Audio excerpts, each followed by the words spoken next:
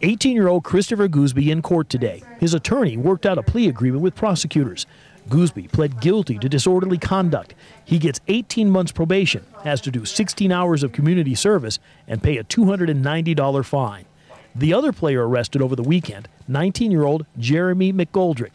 His case couldn't move forward today, so he's scheduled to return to court Tuesday. This all comes after a wild incident Saturday in this Cornelius neighborhood.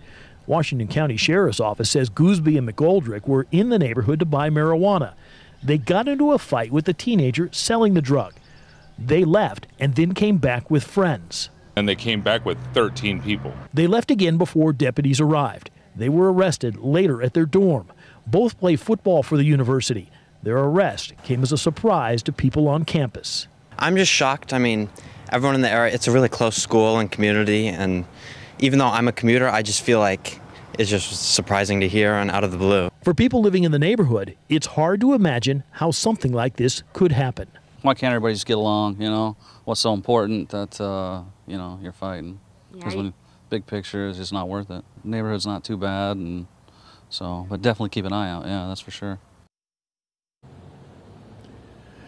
In a written statement, the university expressed disappointment in what happened. They released that over the weekend. Gooseby talked with us briefly as he left the jail just a little while ago. He said that this was not at all about drugs. He said he had gone to the neighborhood to buy some shoes.